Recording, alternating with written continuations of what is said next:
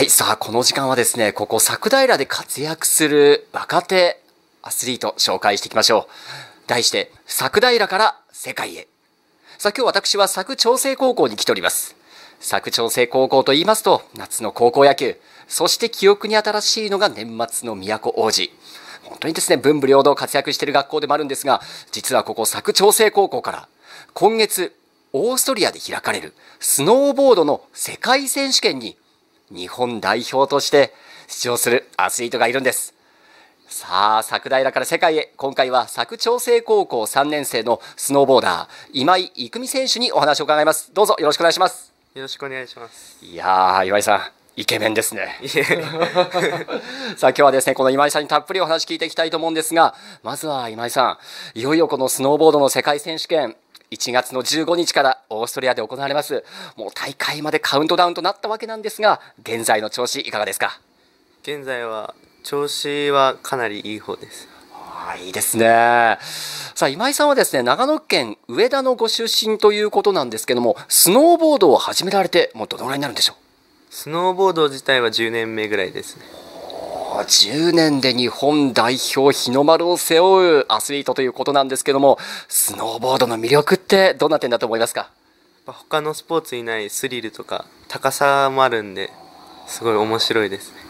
あの、我々ですね、記憶に新しいのが昨年のソチオリンピック。日本代表もですね、この銀メダル、銅メダルと非常にこうね、平野選手、あるいは平岡選手、活躍があったわけなんですけども、当然、この二人の活躍はテレビでもご覧になりましたか？はい、見てました。見ていてどうでした？やっぱ同じ仲間が世界の舞台で活躍するっていうのを見てすごい感動したしいい刺激になりました。なるほど。さあこの同じ仲間ということなんですが今井選手はですねもうソチのメダリスト平岡選手あるいは平野選手と普段はこの一緒にナショナルチームとして練習をしているということなんですが普段の生活スタイルっていうのはこう学校とスノーボードの両立ってはどのようになってるんでしょう？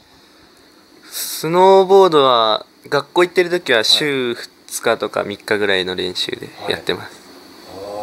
なるほど。そしてこの学校が休みの時などは、まあ、強化合宿などもあると思うんですけども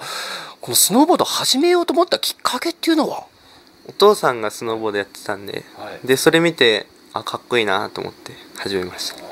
あそうですか。さあそしてですね今井選手、まあ、いよいよこの世界選手権カウントダウンとなってきたわけなんですけども、まあ、この世界選手権に向けてこうご自身の目標というのはどのあたりに？やっ